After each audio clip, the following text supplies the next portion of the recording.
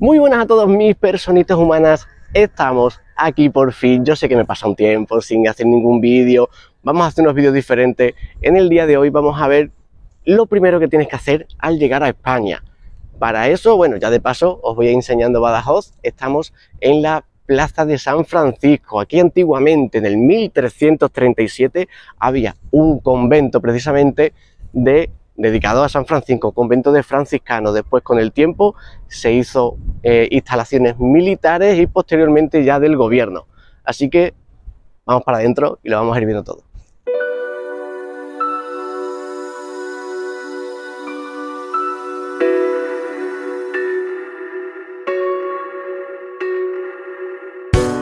Muy bien, lo primero que tenéis que hacer al llegar a España o cualquier otro país de la Unión Europea es empadronaros. Me imagino que ya tendréis algún sitio donde quedaros y yo creo que todo el mundo tiene un amigo o, tiene eh, algún sitio ya previsto donde quedarse.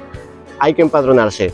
Para ello es muy importante, básicamente es obligatorio pedir cita previa para empadronarse. Te suelen dar cita previa bastante cerca, en plan, son tres o cuatro días lo que tardan en darte la cita. Entonces, lo mejor, y ahora veréis por qué lo digo después, es que pidáis eh, cita o turno, como cada uno le diga, antes de viajar.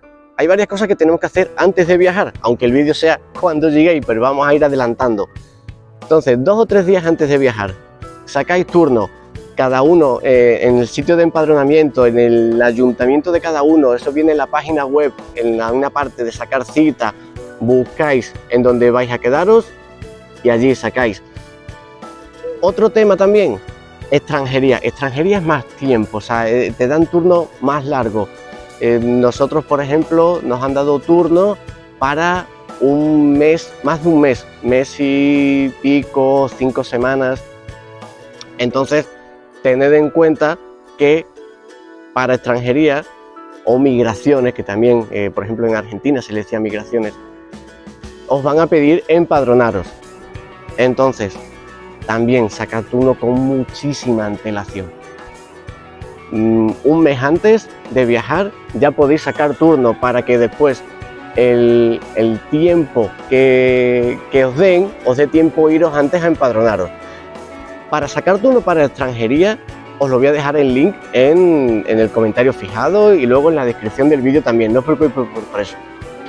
Ahora, yo sé que se me ve muy chico, yo sé que se me ve muy lejos, pero me hacía muchísima ilusión enseñaros en el Paseo de San Francisco lo que sería un templete, un kiosco para música. Aquí se suele poner una orquesta de música y toca, ameniza las tardes, depende de lo que sea. Bien, más cositas que tenemos que tener en cuenta.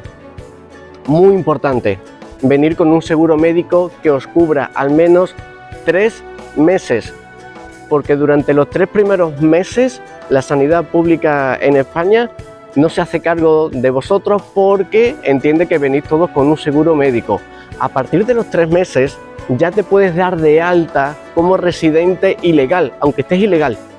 No hay ningún problema te puedes dar de alta como residente ilegal, si, bueno, si ya has conseguido resolver todos los problemas y todos los papeles con extranjería, muchísimo mejor, porque ya sería todo mucho más legal. Pero incluso si estáis ilegales, también podéis acceder a la sanidad pública española.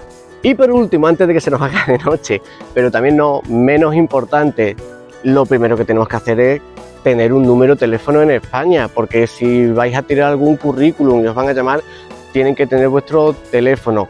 Y también muy importante, eso en cada ciudad es diferente, las tarjetas del transporte público, del, ya sea el autobús, si tenéis metro, metro, tranvía, burro taxi, ya lo que sea. Y con esto hemos terminado por hoy. Muchísimas gracias por quedaros hasta ahora, hasta el final del vídeo. Recuerda darle al botoncito de suscribir porque vamos a ir subiendo muchos más vídeos de cómo me va yendo, de cosas que os puede ayudar a, todos los que vayáis viniendo. De diferencia, vamos a hacer, el próximo vídeo va a ser de cosas que incluso a mí me han sorprendido a la vuelta de eh, después de estar 11 años en Argentina, que ya sabéis que he estado. Por mi parte no tengo nada más que contar. Un saludo a todos, nos vemos si nos miramos.